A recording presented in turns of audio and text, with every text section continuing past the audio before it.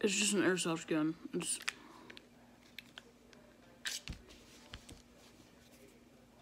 There's nothing in it. There's no gas in it.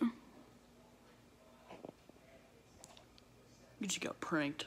You dirty freaking minded freaks.